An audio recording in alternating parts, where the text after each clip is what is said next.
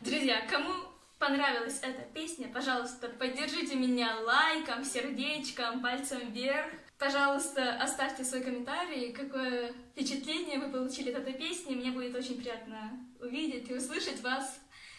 Все, всем пока, до скорых встреч, Люблю. Люблю.